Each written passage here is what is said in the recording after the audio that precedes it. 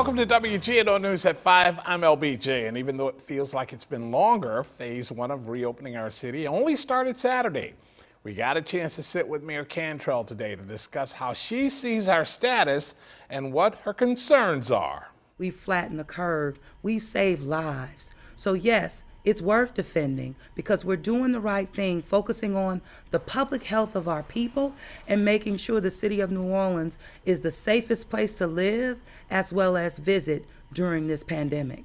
Mayor Latoya Cantrell defending the city's actions in response to the coronavirus. In a one on one interview, the mayor discussed a wide range of topics, and while the city's numbers continue to decrease, she's concerned about our neighbors and those that come into our city. Absolutely. I remain uh, concerned, not just as it relates to our neighboring uh, parishes, but cities uh, and states as well, and really the country. Uh, we're a destination city, uh, and uh, there are no lines, you know, when it comes to this virus as it's demonstrated.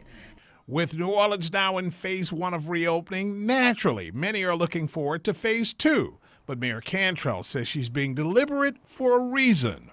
I have not set a date. In my proclamation, I did not set a date because I don't want the date to drive us. I want the data to continue to drive us. It's going to take up to 21 days, a little bit over that, to see the impacts of our actions from the first step to reopening. At that point, uh, we will make decisions again based on that data to therefore add in, you know, other businesses or expand uh, the capacity of businesses. But it will be driven by the data. The mayor also addressed the risk involved with the upcoming holiday weekend. I'm absolutely concerned about Memorial Day weekend, just as I was Mother's Day. But the public did the right thing. They demonstrated that, and we have the data to prove it because, again, we did not regress. We kept making progress. So, if the people continue to do what we know that they've demonstrated what's possible, we'll continue to remain on the, the path to progress.